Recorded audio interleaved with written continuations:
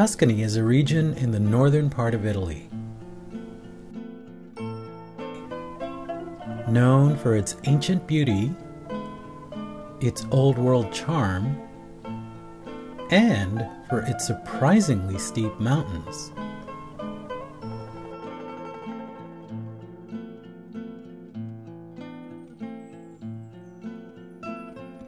But less well known is how popular cycling is.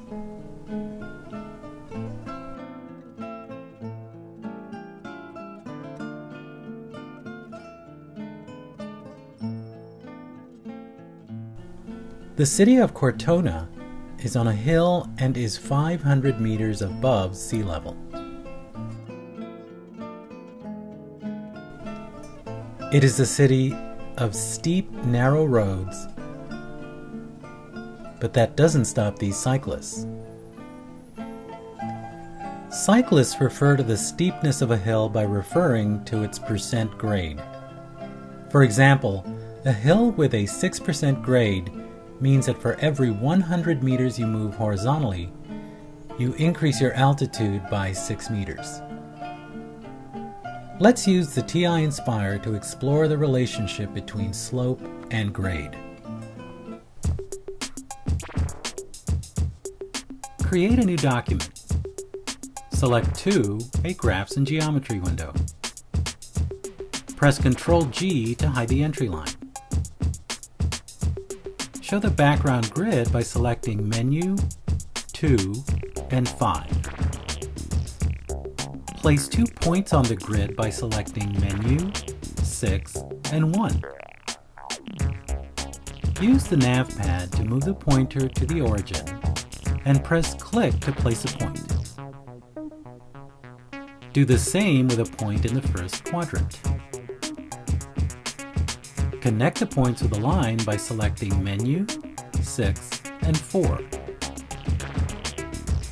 Move the pointer so that it is on top of each point, and press click on each point. Change the window settings by clicking and dragging from the upper left to the lower right so that only quadrant 1 is showing. Change the range for the x-axis by moving the pointer over the axis, holding the shift key, and pressing the left button. Choose a max of about 110. Display the coordinates of the points by clicking on Menu, 1, and 6. Place the point over one of the points and press click.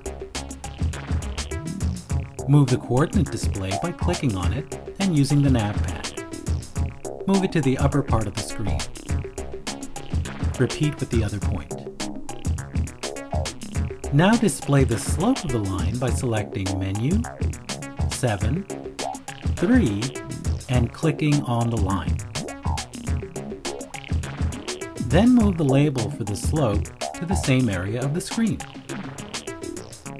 You now have coordinate and slope displays. In fact, you can see the coordinates by clicking on the displays and changing the values. So, set the coordinates so that they are 0, 0 and 106. You'll see that the grade is the same as the slope expressed as a percent. The 500 meter rise to Cortona is at a 4% grade. How far do these bikers have to travel?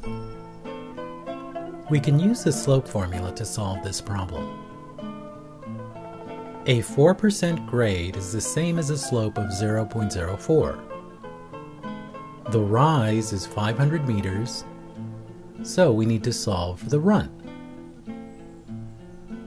The distance the cyclists need to travel is 12,500 meters. This long distance is made up of a long spiraling road up to Cortona. But once you get to the top, the view is magnificent.